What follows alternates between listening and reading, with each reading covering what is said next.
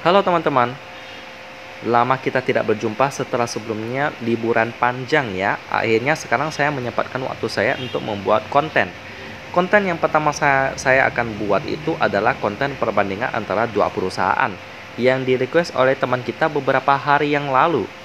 Dua perusahaan ini memiliki bidang usaha yang sama, yakni bergerak di bidang makanan laut.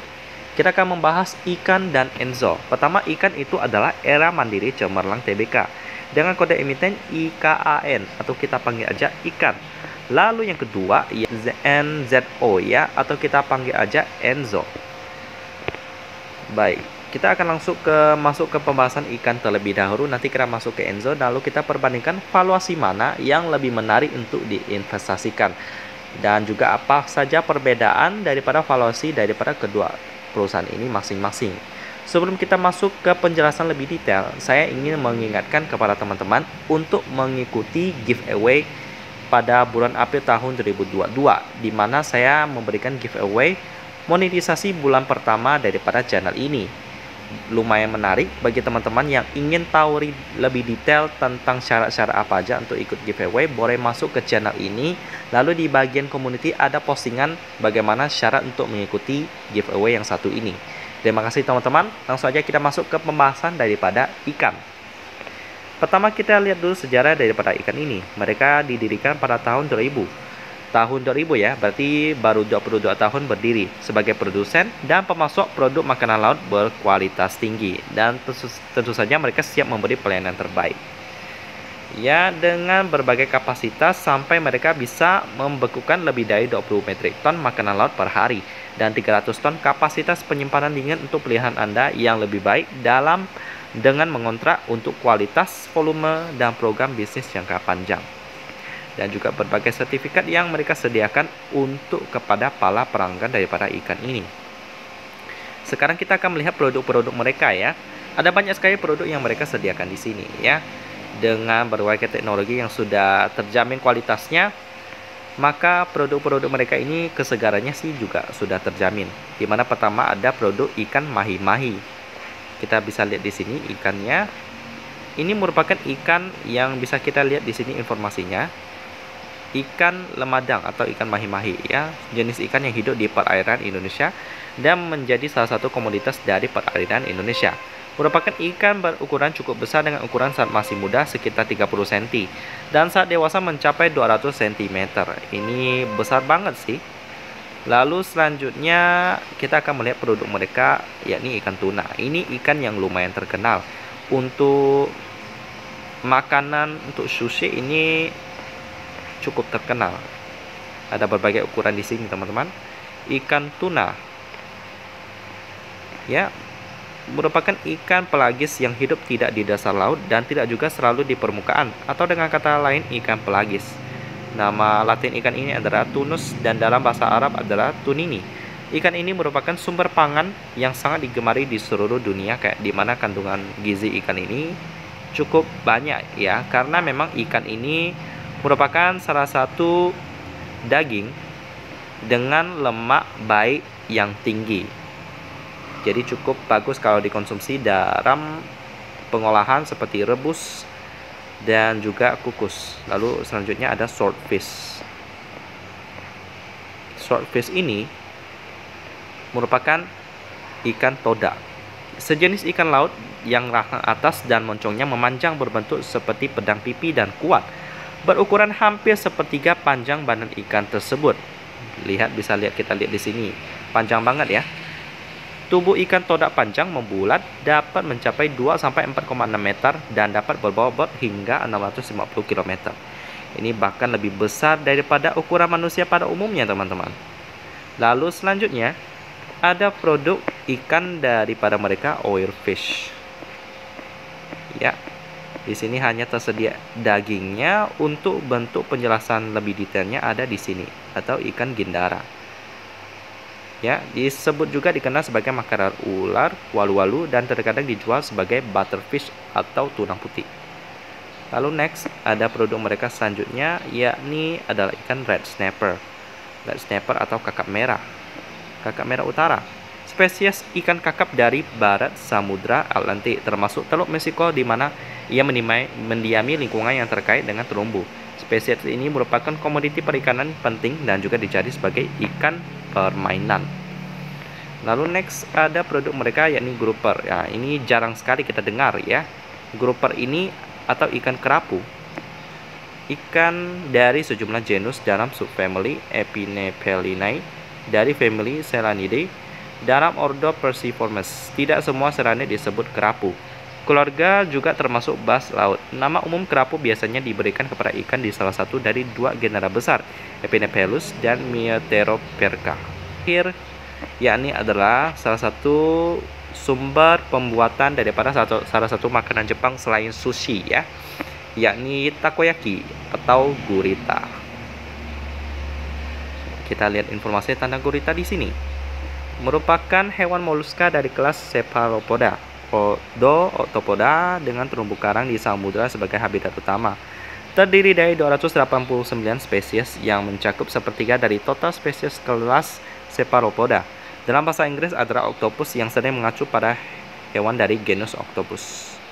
Dan itulah sekilas tentang produk-produk daripada ikan ini.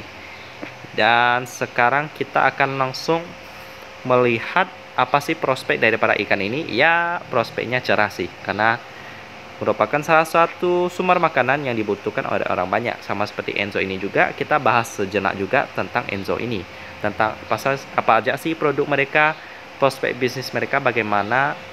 Kita akan lihat di sini, sejarah mereka juga ada di sini. Hmm. Lumayan, mereka juga dibangun dalam tahun yang juga lumayan mirip ya. Pertama kita ubah dulu ini ke dalam bahasa Indonesia supaya lebih mudah dibaca. Baik, ya kita pertama lihat dulu tonggak pencapaian mereka di mana mereka dibangun pada tahun 2002 setelah sebelumnya fish itu dibangun pada tahun 2000 bukan fish ya tapi ikan ya tahun 2000 lalu untuk Enzo ini tahun 2022 jadi lumayan mirip cuman beda dua tahun doang. Lalu kita lihat profil daripada perusahaan mereka. Dari pelanggan mereka ada banyak di sini ya. Harbor, Union, Aquastar, Nautilus, Laundier, Twin Towers, lalu Heron Point, dan itulah pelanggan mereka. Lalu ini fasilitas-fasilitas daripada Enzo ini. Dijelaskan secara detail di sini ada machine room, engine room, boiler room, cold room machine, genset room, electricity panel, coding machine, swimming crab production, simmer machine, sort division, dry storage, costume sector. Lalu selanjutnya kita lihat di proses produk mereka. Ini juga dijelaskan dengan detail dari inkubator lab, chemi lab, micro lab, UV ray inspection, blue swimming crab division, simmer section ini untuk pengemasan. Lalu pasteurisasi division, lalu cold storage. Itu sekilas tentang proses produk produk mereka. Lalu mereka memiliki banyak sekali asuransi ya. Sangat banyak sehingga sangat terjamin kualitas daripada mereka. Bisa sampai ekspor loh teman-teman sebanyak apa tinjauan bisnisnya kita bisa lihat di sini ya. Pasar mereka seluruh dunia ada Amerika Serikat, Kanada, Eropa, Korea, Australia, Timur Tengah, Asia Tenggara dengan kapasitas tahunan 70 kontainer. Dengan 57 pabrik pengolahan di mana di antaranya ada uang udang beku dua tanaman, makanan laut beku ada 27 tanaman, daging kepiting ada dua tanaman, perahu perikanan dan pengumpul ada 20 tanaman, lebih dari 200 perahu. Lalu dengan omset tahunan sekitar 28 juta US dollar. Sertifikasinya bisa kita lihat di sini. Dan itulah sekilas tentang daripada prospir perusahaan mereka. Untuk produknya ada apa aja sih kita bisa lihat di sini.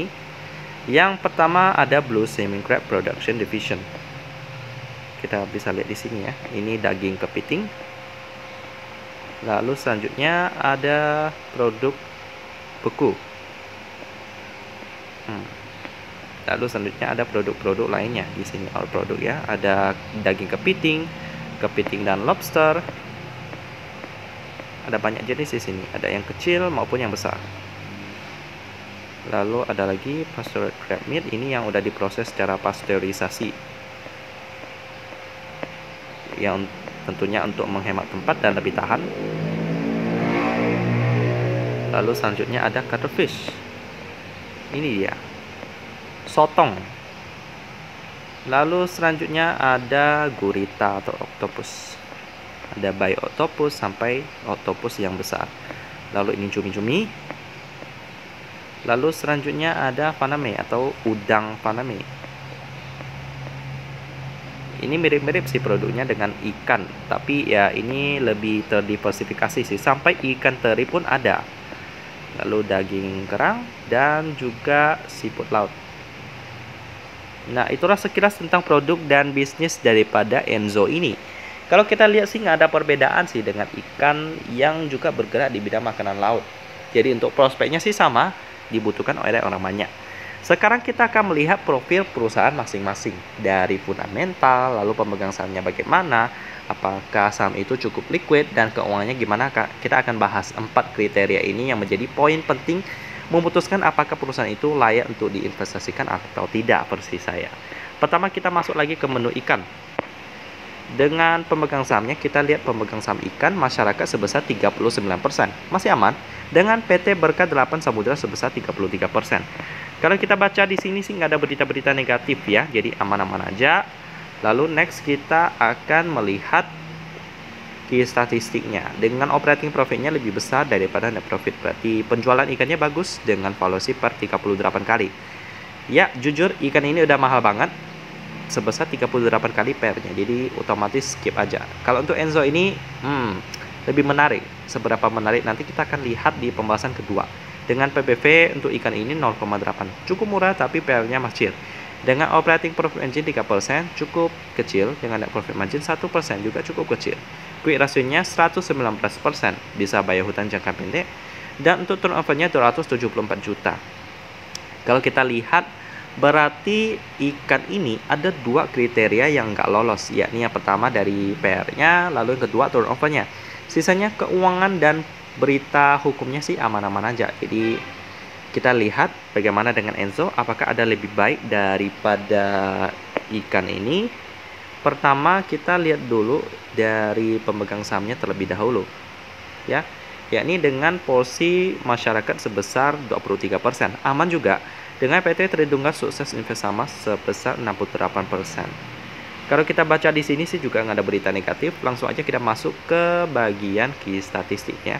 By the way, Enzo ini udah turun banget ya dari harga IPO-nya 105 di lebih menarik sih. Kalau untuk ikan itu harga IPO 120 sekarang 73 juga lagi diskon sih tapi kita lihat valuasi mana yang lebih menarik. Untuk Enzo ini pastinya lebih menarik lebih menarik. Earning per share-nya lebih tinggi dengan operating profit-nya lebih besar daripada net profit. Penjualan seafood-nya juga aman-aman aja dengan PR-nya 11 kali. Ini pastinya lebih menarik daripada ikan karena tiga kali lebih murah daripada valuasi ikan. Jadi udah kelihatan ya pemenangnya yang mana. Tapi kita lihat dulu kriteria-kriteria sisanya. Masih ada dua dengan operating profit margin 1%. Ini tipis banget sih dengan profit margin juga 0,9% tipis dengan kuitansinya 148%. Masih oke okay, bisa membayar hutang jangka pendek. Lalu untuk turnovernya 2,57 M. Ya, jadi untuk Enzo ini hanya satu kriteria yang nggak lolos dari saya ya, yakni adalah PR-nya di mana PR-nya 11. Tapi ini dalam waktu jangka pendek ya untuk kuartal pertama tahun 2022 mungkin ada harapan untuk Enzo ini untuk dapat memenuhi ekspektasi saya. Jadi bagi teman-teman yang ingin mengetahui pilihan saya dari kedua perusahaan ini, sebenarnya belum ada, cuman untuk Enzo ini sangat layak untuk dimasukkan ke dalam titik pantauan ya di dalam daftar pantauan di tahun 2022. Jadi saya menantikan laporan keuangan daripada Enzo pada tahun 2022. Kalau menarik, ini bisa masuk ke dalam watchlist bulan Mei atau Juni lah. Kalau laporan keuangannya telat update di bulan Mei, mungkin Juni bisa masuk. Ya, jadi untuk dari antara dua perusahaan ikan atau Enzo, saya pilihnya Enzo untuk masuk ke dalam pantauan dulu bukan berarti masuk ke dalam watchlist kan? Karena masih ada satu kriteria yang nggak lolos sih. Jadi demikianlah pembahasan tentang ikan dan Enzo. Pionir dan juga pengusaha di bidang makanan laut yang bersaing ketat. Dan akhirnya dapat pemenangnya adalah Enzo yang lebih menarik dari sisi valuasi. Dan juga harganya dalam kisaran gocap loh. Jadi lumayan menarik nggak mungkin turun lebih dalam lagi. Malahan salah satu pilihannya cuma ke atas. Semoga video ini dapat membantu dan kita ketemu lagi di video selanjutnya.